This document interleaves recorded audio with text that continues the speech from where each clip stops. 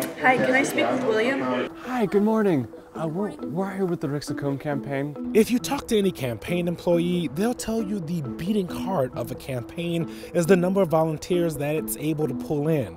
That amount of volunteers can show you how much excitement there is in the general public about the candidate. And once these volunteers come back to the office or they hang up their phone, they can tell the campaigns a lot about how the candidate is perceived out there. Hi, Jane. My name is Kristen, and I'm a volunteer with the Conor Lamb for Congress campaign. I've done some mild volunteering for campaigns, but nothing to the extent that I'm doing now. I've been here almost daily for the past six weeks. What's it like to call people who like don't want to hear it? It's hard sometimes. Um, most people are pretty nice. Yeah, every once in a while you get somebody that that uh, you know just doesn't doesn't want to talk to you and, and they're angry about it. A lot of people are like, I don't tell anybody who I'm voting for. It's fair enough.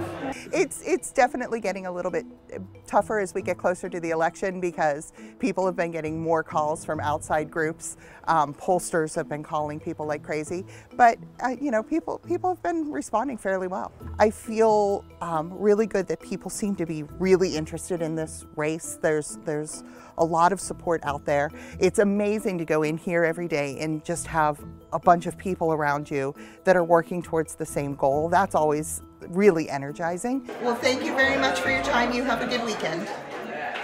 Take care. Where phone banking feels very targeted, door knocking, canvassing, it feels a little more random. You do zero in on a neighborhood, but once you get here, you're knocking on doors that they may already have a Rick Saccone sign in their front yard. They say they're voting for him. The next second, you're knocking on a door of someone who says they're a Democrat, that they're voting for Conor Lamb, and you're trying to get them to change their mind. I'll give you half of that. Well, you can just hold it all.